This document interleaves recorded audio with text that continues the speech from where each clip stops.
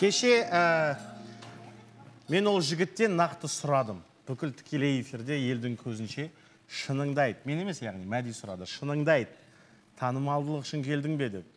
Жоқ жоқ дейді. Нанұрсын деші десем нанұрсын деп қояды. Енді шынымен де ол көрініс тауып жатыр ма? Таныстықтарында жоқ па? Арайлымды шақырып білейік. Келе ғой.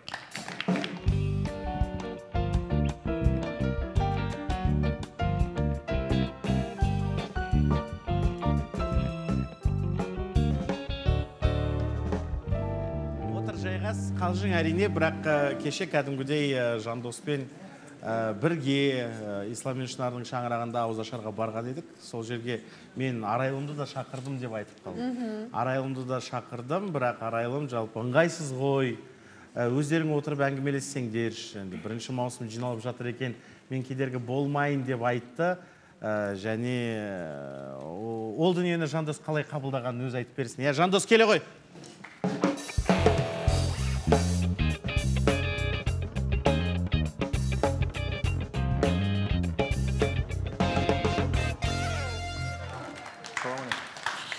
Құлпынайдан құлпынай әйтеуір иә. Ә, жандос қалың қалай?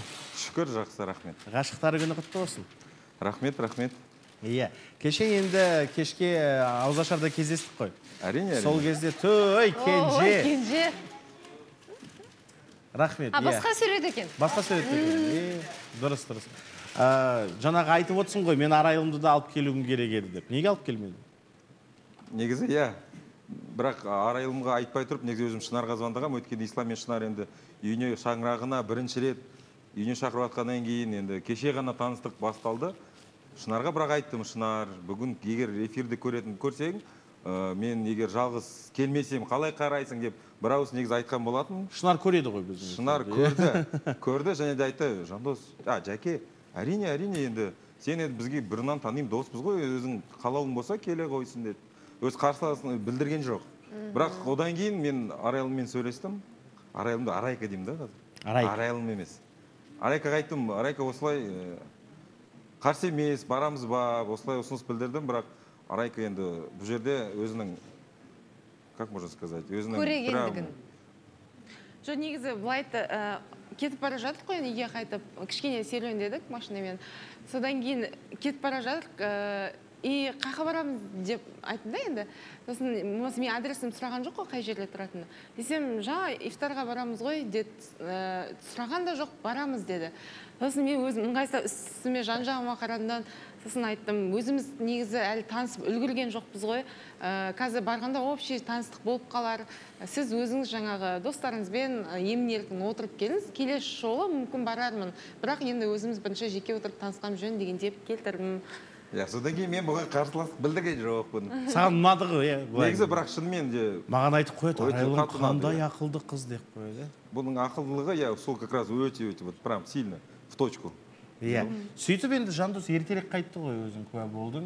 Ертерек қайтқаны былай тұрсын шах мырза жандос жалпы өзімізбен бірге 15-20 минут отырды ма отырмады ма одан кейін кәдімгідей жатын бөлмеге кіріп кетіп телефонмен сөйлесіп жатты. Арайлыммен сөйлесіп жаттың ғой деймін иә? арайлыммен смс. Мм, SMS смс арқылы. Сөйтіп менің шаруаларым бар деп жүгіріп кетіп қалды. Сөйтсем арайлыммен кездесуге барған екен. Қандай кездесу орын алыпты оны видеодан көрейік.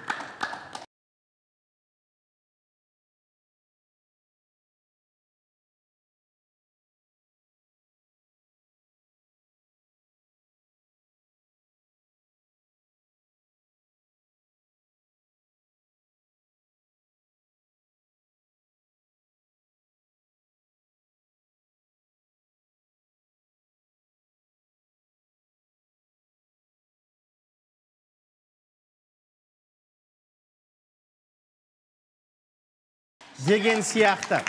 Айтпақшы бұл кездесуде жандостың басы ауырып отырған. Солай ғой иә? Негізі шыдап отырдым. Шыдап отыр білдірткен жоқпыз қызға. иә айтпадым ғой. Негізі біл- білген жоқпын ауырып басы жатқанын. ауырып кеткен иә. Кәдімгідей дәрі ішіп басым қоймай жатыр деп бірақ дегенменен жоқ жоқ болмайды деп тұрып ұйқысы келіп өзі бейшара. Бірақ асыл ханымға рахмет. Негізі асыл ханым ойбай қазір дәрісін беремін деп дәрісін беріп кәдімгідей мені мықты мықты поддержка беріп пық етіп жүгір жүгір деді ғой. Мына видеода да қараймын да жандос сөйлеп жатыр сөйлеп жатыр сөйлеп жатыр. Кездесуде шыныңды айтшы арай. Сен сөйледің бе? Екі ауыз сөз айттың ба жоқ мен всегда айтатын едім ғой. Ә, өзім ә, типа аша алмадым жігітті деген сияқты сұрақ қойдым андай әңгіме жоқ деген сияқты. Жоқ бұл жолы ә, андай күшті болды маған наоборот ше әңгімесін айтады өзі барлығын түсініп отырады еще. Не айтайын деп отқанды. И андай мнениеміз соңғы нүктесі бір жерден шығып жатады сенің айтайын деп тұрған Иә, нәрсеңді иә, де иә. жандос айтып қойып жатыр ма? болмаса бұл кісі айтайын деп жатқан мен айта саламын тыңда осылайынан болды сонда не туралы әңгіме айттыңыздар? Қай жерде ойларыңыз бір жерден шығып жатты? сағаттың бірдің түнгі бірге дейін әңгімелесіп әңгімелесіп соңында айтады маған арайлым. Жандос мен бір нәрсе айтсам бола ма? дейді да. Мен өзім түсінбей қалдым. Не болып қалды? Айта ғой сағат бір болды ұйқым келіп уже уже не отыра алмаймын дейді да. Үйге қайтсақ болады ма дейді да. Я говорю «Е, әрине мен де саған соны айта алмай отырмын деймін да. Сөйлесіп сөйлесіп до того что уже былай кетіп бара жатсың ғой ұйқыдан мен сосын енді сағатты қарап отырмын ғой. Көз кетіп бара жатыр. Сөйтемін да А, жандос дұрыс бірдеңе айтсам бола ма дедім иә дейді и бүйтіп сағатты көрсем мен даже айтқан жоқпын сразу сыныпта болды болды болды кеттік дейді да сразу. Иә ең ең ұнаған бір екеуміз арайым айтады да мен енді көзден де түсінемін дейді да. Не айтқыңыз келіп тұрғаныңызды дейді. Менде негізі сондай бір дар бар да менде. Сеземін дейсің сезіп отырамын. На самом деле. От природы дано дейді ғой. Бірақ жалпы бұл қасиеті ә, тым қатты дамымаған екен. Өйткені кеше енді келмеген дұрыс болды. Ой бірінші маусым қатысушылары әдемілеп өсектеді ғой сені. Кәдімгі ой жандос келіпті. Арайлым сөйтсе жандос бүйтеді енді. Ислам қызылорданың жігіті ғой негізі. Ә, әй ислам. Сендерде қалың мал қанша деп қояды ана жерде иә.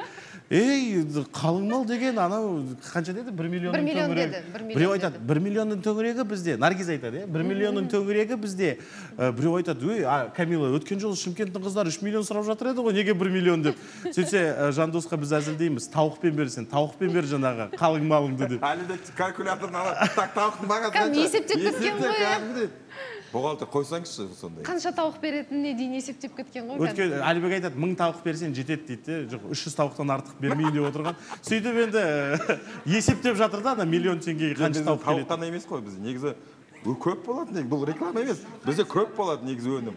Бұл жұмыртқаны жаңағы тауық ол 30 өнімнің бір біреусі ғана. Біреу сөйтіп енді қанша қалың малдарың а орташа ма? Енді енді сен нақты өзің айта алмайсың ғой бірақ жалпы енді білесің ғой енді ә, жеңгелерің бар жаңа келін түсірдіңдер үйге. Ә, орташа қанша? қанша тауыққа бағалайды сонша тауық береді да деп жоқ негізі біз жақта иә береді ғой. Мысалы екі жыл бұрын сестрам кеткен ол кезде миллион берген тұғын бірақ мен, білуімше ата аналар өздері сөйлеседі ғой. Иә, мен мынандай деп айтпаймын мысалы дүние беру, жағы киім беру жағы. Бірақ қарашы екі қызылордалық қыз бір бағаны айтты. Бір миллион деп иә. Негізі сол орташа сол иә. иә. Жоқ әркім шынымен мүмкін одан төмен болуы мүмкін әркімнің шама шарқысына қарай. Ә, солай болады иә сол екі жыл бұрын сондай болған. Қазір де сондай шығар білмейді екенмін сөйтіп енді кәдімгідей ана жерде ә, ислам айтып қояды е қызылорданың қыздарына қалың малды беру керек міндетті түрде деп. Сөйтсем шынар айтады өзі қалың мал бермей отырған жігіттің әңгімесін қара деп. Ә, енді семей жақта қалың мал жоқ қой. Сөйтіп иә Біраз мәселесін енді ата аналар шешеді ғой аналар шешеді ғой. Иә. өзара өзара. Бірақ ол ол жағынан проблема болмайды мысалы жаңағы сол ә, сестрамды ұзататын кезде де мамалар барады ғой бізде ә, қыз жақ өйтіп айтпайды маған андай сумма керек деп. Мен өзім отбасым жайлы айтып жатырмын. Ә, бала жақ қанша деп айтады қанша бере алады соны алады келеді. Сондай негізі. Ал мысалға бала жақта не болмаса мүлдем қалың мал бермейтін талдықорғандікі болса ше мысалға? Е талдықорған қалың мал береді? Жоқ негізі қыз жақта қалай? қыз жақта қалың ма- қалың мал павлодарда берілсе жоқ қой деймін осы павлодарда. Естіген жоқпын мен павлодарда құндыздан сұрайықшы құндыз құндыз талдықорғанда жоқ қой иә? Қыздар тегін емес қой бізде де бар. Мен осы жоқ кімнен естідім? ондай біреу бізде нақты.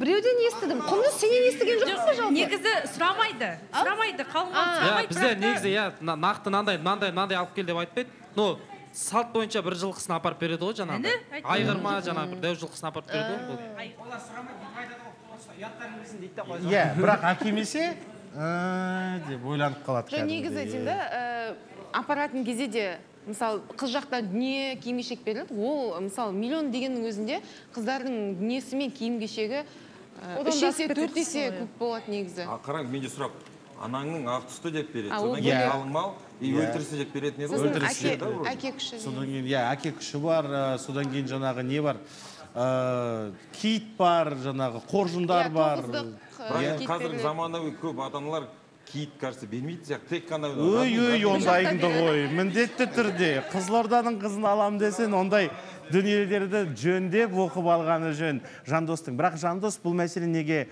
қозғап отыр? Демек үйленуге деген ниеті бар ма? Деген сұрақты жарнамадан кейін қоямыз. Алыстамаңыз.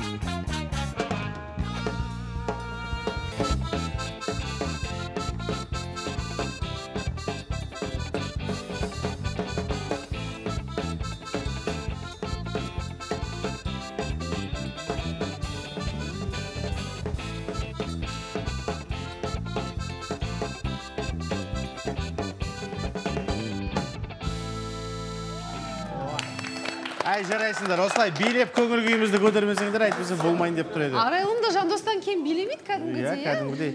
Бірақ жаңағы ритмді қалай сезеді? Ә, екі жұп ә, бір жұп билеген кезде жалпы ә, қаншалықты екеуі бір біріне үйлесімді сол биден ақ тануға болады. Бұл жерде арайлым кәдімгідей жандосқа ә, биді басқаруға мүмкіндік беріп отыр. Демек ол кішкентай бір үлгі болғанменен үлкен мағынасы бар дүние. Иә иә. Бәлкім сол себепті де жандос арайлымды таңдап қалың мал мәселесін талқылап жатқаны да сол шығар иә негізі. Келер бұл бұрын зерттегенде байқаймын ғой сол. Ағаш па ағаш емес па деген сияқтыларды ше? Это искренняя эмоция ғой но очень пластично ұнады. Иә. биге екемі ешкіммен шатағы жоқ өзі жалғыз шетінде машинаның анауысында қойып қояды. Бамперін телефон қойып қойып билеп өзімен өзі өз әлемі өзіне дейді а ғой. тик ток түсіргенін айтып жатсың ғой иә. Дұрыс жоқ дұрыс просто маған сол қызық бір жағынан да. Өйткені бізде жандос сондай болды ғой бірінші маусымда. Ол кезде құрметті көрермен қатысушылар тикток деген әлі тарихта да жоқ әлі бір ішкі ойына келген жоқ жаңағы тиктокты шығарған адамның тиктокты шығарам деген. Бірақ сол кезде жандос кәдімгі өзімен өзі ешқандай әлеуметтік желіге емес өзімен өзі далада билеп жүретін. Сонда таңқалатынбыз кәдімгідей осы жандостың әлемі бөлек ә деп. Міне өзіңе ұқсас қыз таптың иә Күшті, иә? байқап жатырмыз. Иә енді біз енді қатысушылардың кешегі ойын көрдік иә қатысушылар бәрі бір ауыздан иә жіті бақылаймыз бағдарламаны. Осы арайлым өте дұрыс таңдау екеуің бір біріңе сай келесіңдер ау деген сияқты жылы пікірлерін айтып жатыр. Бірақ отбасы не деп жатыр сол қызық маған. Шынымды айтайын анам қарсы емес қыз ұнап жатыр. Қыз ұнап жатыр. Керемет. Бірақ әкеммен әлі былай сөйлескен жоқпыз әлі. Әкеңмен әлі сөйлескен әкем қадағалайды бірақ сұраған жоқ. Енді папаң сен 33 жастағы баласына маған таңдауың ұнамайды деп айтпайды ау сол. Иә, иә. бастысы анаңның разылығы болса болды ау. Менің ойымша екеуі бар ғой жаңағы жандостың ата анасы білмеймін.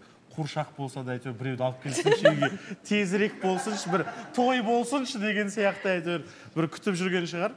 Ә, шынымен де енді ол кісілер немере сүйгілері келеді ұрпақ сүйгілері келеді. Кәдімгідей қазір нағыз сол ә, немерелермен алысып кәдімгі соның күтіміне қарап жаңағы жастық шағының екінші кезеңін ә, сүргілері келіп жүр ғой жалпы иә иә әрине әрине оны бәрі оның бәрін түсінемін ғой. Немерелері бар бірақ енді ортаншы ағам атырауда үлкен ағам астанамен екі жақта жүреді. Сол себептен немере енді прям жақын постоянно қасында емес та. Бірақ сен үйдің кенжесісің ғой. Иә кенжеден тараған ұрпақ ерекше Әрине, тәтті болады иә. енді солай енді енді ойлаймыз әрине. Деп ойлаймыз әрине. деп ойлаймын сенің ой- отбасың не деп жатыр жаңағы? Туған туыстар құрбыларың мына жерде әй жандос онша емес деген жоқ па? Жоқ жандос жайлы вот шынымды айтайын уақыт болған жоқ. Өйткені эфирден шыққан кезде осы кісімен кеттім. Ә, үйге барып ужинды екеуміз екі жақтан іштік қой. Сразу келіп қалды да бұл кісі. И мен қайтадан шығып кеттім. Үйге түнде бірде келдім. Енді мамамды мазалағым келмеді. Бірақ мама жазып жіберіпті барлығы жақсы өтті ма деп. Сосын болды ары қарай әңгіме болған жоқ. Бірақ мен ойлаймын мама всегда ә, мен не шешіміммен қолдайды. Мама мысалы жоқ мына адам мындай мындай деп ешқашан айтпаған. Маған наоборот мотивация береді. Сен ә, адамгершілік жағын басқа жағынан сыйластық жағынан наоборот маған мындай керісінше ә, осылай істе осылай істе деген жақ- сияқты бағыт бағдар иә, беріп отырады дейсің солай. сіңілің ше сіңілің не деп жатыр бірге тұрасыңдар ғой енді. иә сіңілім ә, өте позитивный адам екен деп айтып жатыр үйде негізі сіңілімнен бөлек тағы қыз бар. Тоже солайынан ә, ақылын айтып бұрын негізі осы кісі отқан кезде бірінші маусымда ол кісі де көрген екен. Мен кейінден бармын оның қасына. Иә өте андай өмірге деген құлшынысы прям артып тұрады. Всегда андай настроение всегда жүз болып жүреді деген сияқты солайынан жақсы мүмкін ол жалған шығар. Жалпы арайлым оған дайынсың ба? ба өйткені жандостың мысалы характеристикасына келсек кеше мысалы дастархан басында да көрінді иә? Жандос жаңағы арайлыммен кездесуім керек деп кетіп қалған кезде ана жер кәдімгі дастархан тынышталып асықпай өф! деп кәдімгі байыппен әңгіме айтайықшы енді. Өйткені жандос отырған кезде ана жер а базар сияқты да кәдімгі анау мынау мына комментарий айғайлап шулап кәдімгідей бір күліп бір абырда бір базардың ішінде жүрген сияқты болдым да жандос кетіп қалып еді бәрі тыныштала қалды бірден. Сондай бір бір ерекшелігі бар жігіттің ол бір иә, екі ол өмірі тыпыршып бірдеме істеп жүреді. Жандостың бір орында отырғанын көру мүмкін емес. Бұл немен айналыспады? Мына жерде тіпті қатысушылар ә, ол кезде әншілікті де актерлікті де білмейді ғой бірінші маусымда. Сол кезде жаңағы ән айтпайтын қатысушыларды ұйымдастырып жаңағы квартет құрып ақжарқын сен ә, жадерке еркебұлан ә, нағыз махаббатты қалаймын деп мына жерде студияда ән жазып кәдімгідей осы жандостың ұйымдастыруымен жүретін соның бәрі. Билетіп ә, сөйтіп жүрді де бір күні тек қана эксперимент қой жаңағы бір ән айтып көрейік деген сияқты эксперимент. Сөйтсем жандос деген соны жасатып алды да содан кейін бір қарасаң бүкіл тойларда ана жерде кәдімгі гастроль болып жүр ғой ана төртеу сондай бір жігіт. Өзі жаңағы техникаға да жақын өнерге де жақын біз тыпыршып жүреді. Шаршап кетпейсің бе бір күні? Әй отыршы бір орында жоқ кеше де өзі де айтып жатыр ғой мен кез келген жерде машинада болсын заведениеде болсын андай ән айтып жүремін бүкіл даусыммен қойып қойып солай жүрген ұнайды деп айтып жатыр ғой. Ә, сен маған, маған қарағанда сабырлысың дейді маған. Мен может сол жағыңа да қарадым деген сияқты ше. Мен всегда андай ә, көңілді болып сөйлеп солайынан жүремін деген сияқты айтты. И және жаңағы характеристика дегенге ә, маған айтады да жұлдызнама қандай дейді ә, телец па дейді? Сосын жоқ тоқты тоқтымын овенмін деп жатсам «А, ай деп қалды да ол кісі. овен досым иә класстастар қыздар бар сол досымның әйелі сол достарым бар. Просто кішкене овны чуть чуть упертый дейді ғой.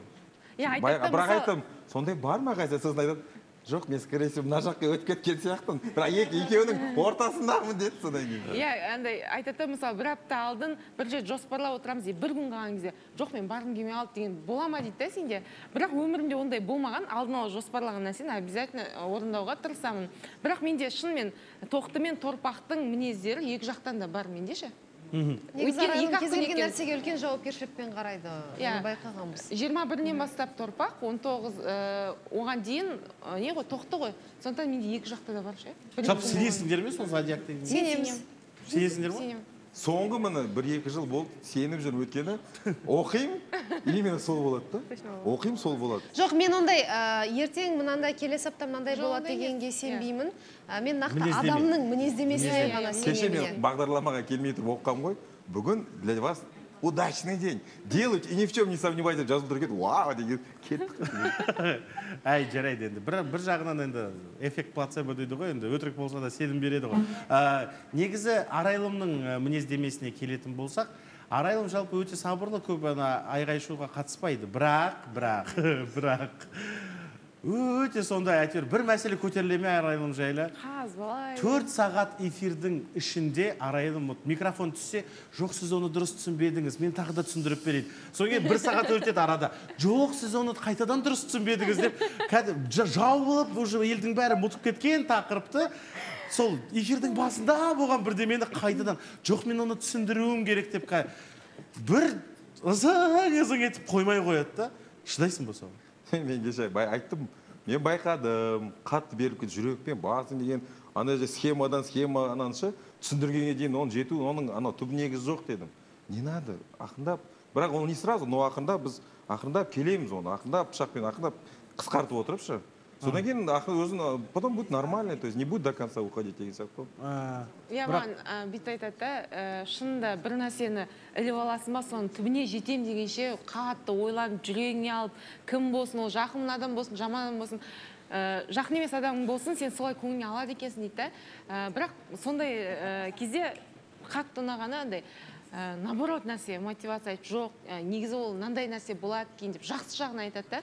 Ол уақыт өте келе қалады ә, көңіліңе алмайтын боласың деген сияқты бірге деген өзің сеніп қалдың ба соған құдай қаласа негізі болады.